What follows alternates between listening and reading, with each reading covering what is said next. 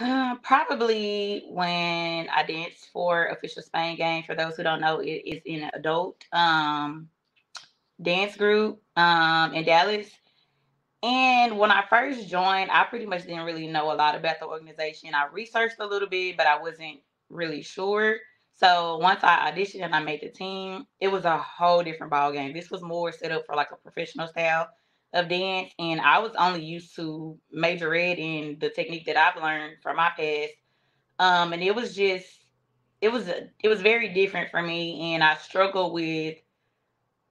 Sometimes in majorette, you know, they want you to blend, but in this world, it was just all about who was the best and who can be in the front, and I wasn't used to that. So when I first came in, I was kind of reserved, like, "Uh, I don't know, like these people are really, really good, and I'm more so of the majorette style. Um, but eventually, like I had to just sit down and tell myself, like, girl,